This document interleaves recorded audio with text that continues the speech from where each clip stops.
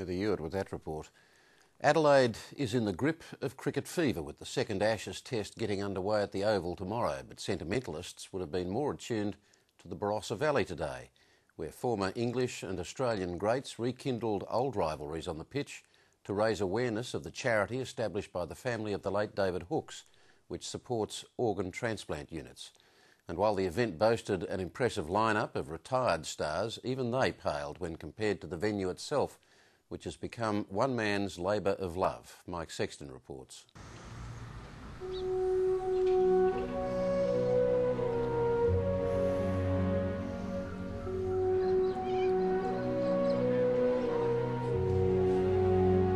This is a real beauty. It needs restoring. I thought, well, you know, this is a project that you can put your life into, and that's basically what we've done. At the highest point of South Australia's majestic Barossa Valley stands a 116 year old bluestone monument to ambition called Chateau Tanunda.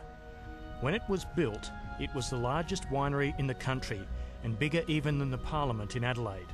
The sheer scale of it, it was enormous. Um, and I thought, wow, whoever did this and being the biggest building in South Australia at its time had to be thinking in such a great vision. But after a century of use, the chateau fell into disrepair, and by the end of the 1990s, the once commanding symbol of the Barossa Valley was a mess.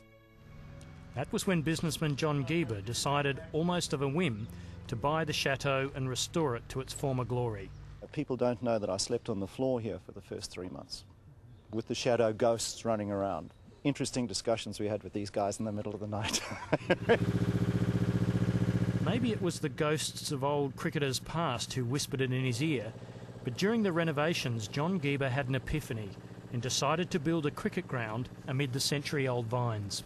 Well, Darren, uh, these five days ago, what's that wicket looking like? Now, John Geber has his own field of dreams. And like the line from the Hollywood film of the same name, if you build it, they will come. Today they came former England and Australian players who between them have scored more than 44,000 test runs and taken 1,300 wickets. It's just a very quaint place to play cricket and um, hope we have some fun today. I'm looking forward to having a bit of a roll, and, but I'm not looking forward to the five days following recovering. Heads. It's it is. Oh, still got it, boy, still got it. Despite losing the toss, Australia was sent in to bat with opener Michael Slater in rude good health until a sharp one from Chris Lewis wiped the smile off his face. Despite the injury, experience told the Australians not to call on their 12th man, South Australian Premier Mike Rann. Uh, Darren Lehmann was, uh, when he was uh, come back to do his testimonial year, in his speech he said uh, he'd been around the world, he'd seen hundreds of thousands of people play cricket, but he said he thought that I was the worst he'd ever seen and I was an even worse bowler than John Howard. But this is more than just a chance for old players to relive some glory. The event supports the David Hookes Foundation, established by his widow Robyn Hookes to raise awareness of organ donation. The camaraderie is amazing, um, but the, the biggest legacy I think ultimately will, will be what he's left behind in um, what he's done for just the awareness of organ donor, um, the necessity and the need for it. One of those who made the trip was former all-rounder Gary Gilmore. Gilmore to Balta Sadiq.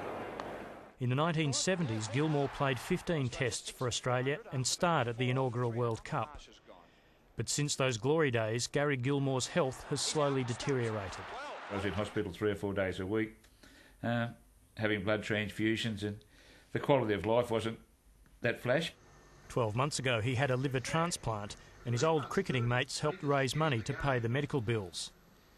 And while the costs have been covered, Gary Gilmore feels a debt he'll never repay.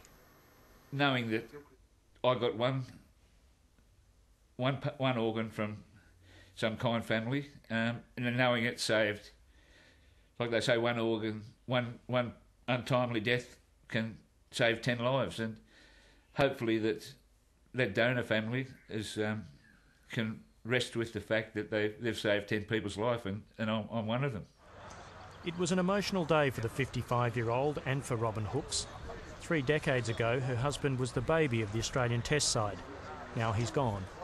And more than ever, Gary Gilmore understands the need to perpetuate a legacy for him. I had my first birthday last Saturday, So I was one year old on Saturday, and um, it's just great to come and support an organisation like this to um, and give my show my appreciation some way because it's uh, there should be more of it, and um, I'm just here to plead with people to join on the donor program. For John Geber, it's a day of celebration. He spent eight years and almost as many millions of dollars rebuilding the chateau, and his field of dreams is alive with legends. It's a dream come true. It's all about cricket. It's all about a great cause. And, uh, you know, you've never seen so many top-end players in regional Australia ever. So Barossa is going out in the world and of course Chateau Tanunda, and that's absolutely superb. Like, it's fantastic. As superb as the atmosphere. Mike Sexton with that report. Time now for the week in politics with John Clark.